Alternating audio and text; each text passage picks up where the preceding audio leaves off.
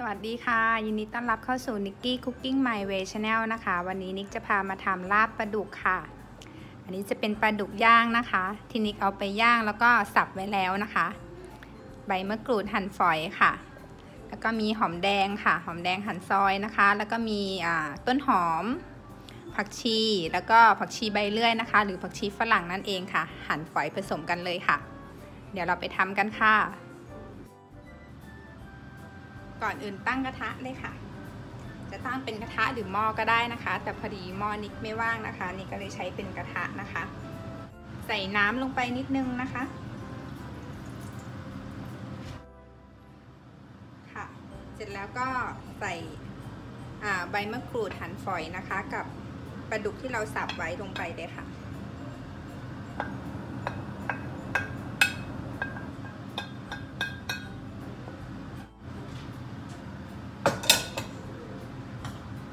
คั่วในกระทะนะคะ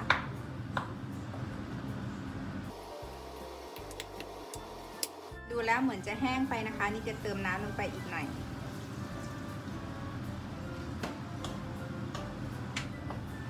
เพราะเนื้อปลาดุกเขาจะดูดน้ำนะคะ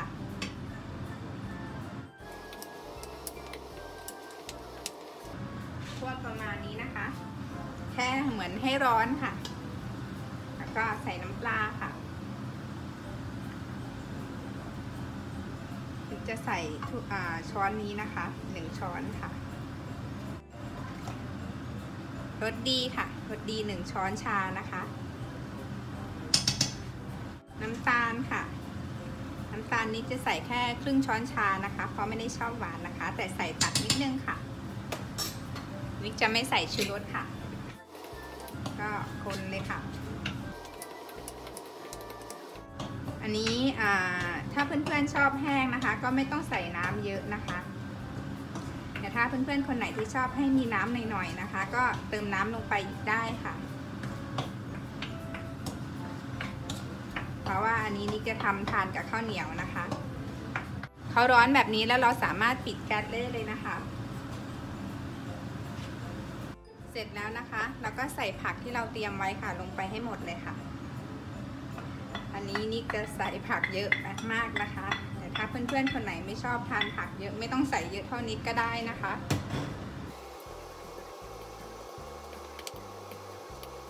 คำว่าลาบนะคะขาดไม่ได้ก็คือข้าวคั่วค่ะ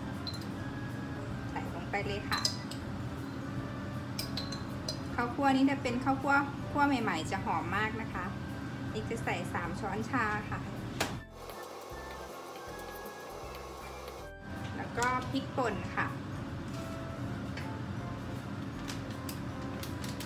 อันนี้ความเผ็ดแล้วแต่ความชอบนะคะของใครของมันค่ะ ก็จะใส่ประมาณนี้ค่ะ เหลือไม่เยอะด้วยค่ะ แล้วก็นิดไม่ชอบทานเผ็ดมากด้วยนะคะ คือทานเผ็ดมากไม่ได้ค่ะคลุกเคล้าให้เข้ากันค่ะ ก็มะนาวค่ะ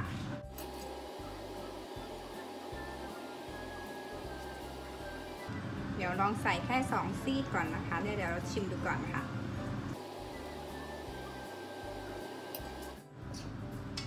คลุกเคล้าให้เข้ากันค่ะ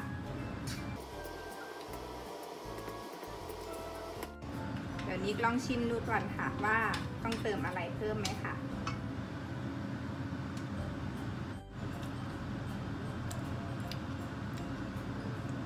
เดี๋ยวนิกเติมเค็มกับเปรี้ยวอีกหน่อยค่ะ น้ำปลาค่ะ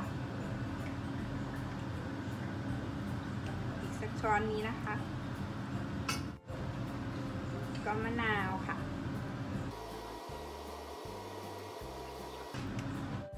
เท่ากับนิกใส่มะนาวหนึ่งลูกเลยนะคะ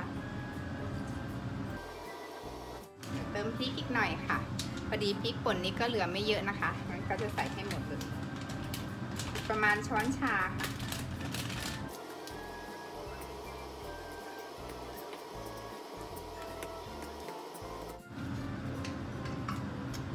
ชิมดูอีกทีค่ะ อืม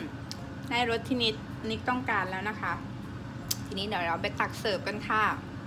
ค่ะพร้อมเสิร์ฟค่ะ